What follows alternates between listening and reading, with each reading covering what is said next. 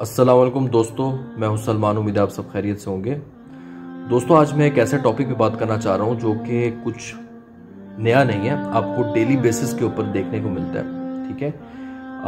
Like आपको हमारे पाकिस्तान, कश्मीर में भी देखने को मिलेगा, आपको चाइना में भी देखने को मिलेगा, आपको बर्मा में भी देखने को मिलेगा, और वो है violation of human rights specially for Muslims Muslims की जीनोसाइड ठीक है?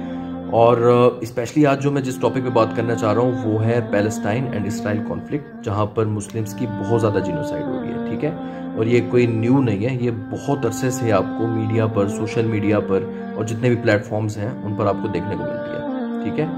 और जब भी आप देखते हैं मीडिया पर सोशल मीडिया पर, आपका दिल जो है वो बहुत ज़्यादा दुखी होता है जब आप देखते हैं कि किसी भी ह्यूमन राइट्स की वायलेशन हो रही हो। और बहुत अरसे से आपको देखने को मिल रहा है ब्लड शेड देखने को मिल रहा है स्पेशली मुस्लिम्स की जीनोसाइड हो रही है।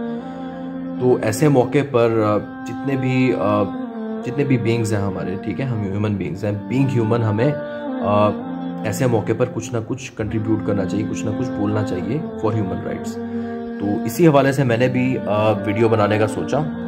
तो सबसे पहले दोस्तों, मैं आपको ये बताना चाहूँगा कि ये स्टार्ट कहाँ से हुई थी। ठीक है आपको एक शॉर्ट सा ब्रीफ साइज़ का इंट्रो देता हूँ। देखिए 1890s में स्टार्ट हुई थी अरब और इसराइल कॉन्फ्लिक्ट स्टार्ट हो गया था ठीक है? जितने भी जाइनिस्ट थे उन्होंने मूवमेंट स्टार्ट की अपने प्रोमिस लैंड के लिए ठीक है? ये स्ट्रगल इनकी आ, 1948 में वॉर में तब्दील हो गई ठीक है? फ़र्स्ट अरब इसराइल वॉर हुई थी 1948 में जिसमें सिक्स अरब स्टेट्स थी जिनमें कैसे भी था सीरिया भी था इराक भी था लेबनान भी था। और इसमें इसराइलियों को विक्ट्री हुई थी ओवर अरब स्टेट्स ठीक है?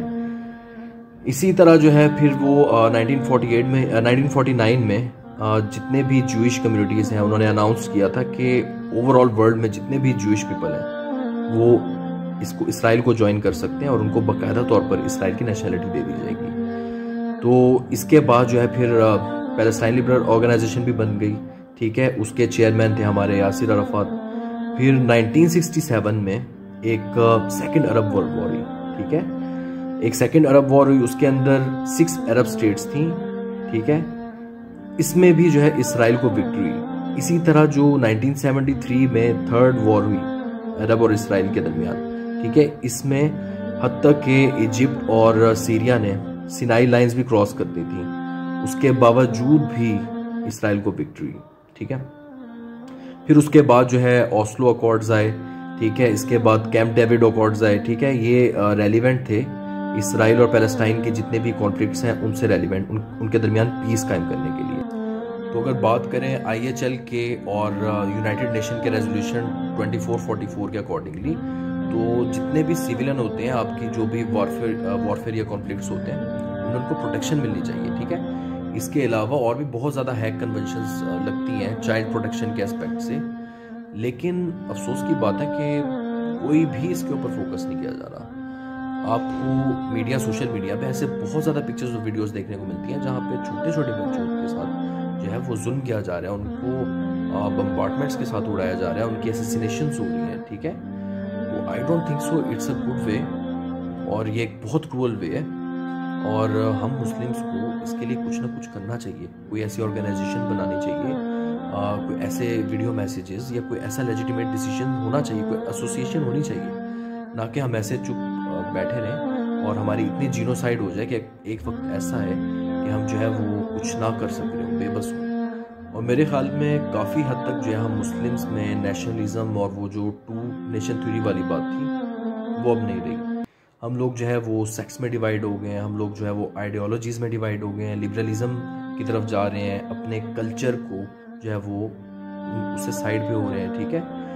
तो ये चीज़ें जो है, हम लोगों को, हम लोगों को इसने आपस में इतना कमज़ोर कर दिया डिवाइड कर दिया, जिसकी बेसिस पे अब हम इतने कमज़ोर हो गए अब जितने भी ऑपोजिट जो एंटी मुस्लिम्स हैं, ठीक है, उनकी पॉलिसीज़ देख लें, उनकी एक्ट्स देख लें, और वो हम लोगों को वन मुस्लिम उम्मा कंसिडर करते हैं, जबकि हम आपस में फ़िरक़ों में, कौम परस्तियों में बटे हुए हैं। तो मेरी यही रिक्वेस्ट है कि अब वक्त आ गया कि हम लोग एक हो जाएँ और जितना हो सकता है मुस्लिम जीनोसाइड्स के अगेंस्ट हमें खड़ा होना चाहिए और जितना हो सकता है हमें आवाज़ उठानी चाहिए क्योंकि हम मुस्लिम्स हैं, हम ह्यूमन बींग्स हैं और ये ना सिर्फ़ मुस्लिम्स की जीनोसाइड हो रही है बल्कि ये ह्यूमन राइट्स की बहुत बड़ी वायलेशन हो रही है।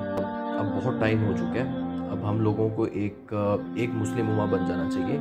और जितना हो सकता है इस इश्यू को रेस किया जाए। आई डोंट थिंक सो कि अब कोई टाइम बाकी रह गया है कि इतने अरसे से मुस्लिम्स की इतने जीनोसाइड की जा रही है।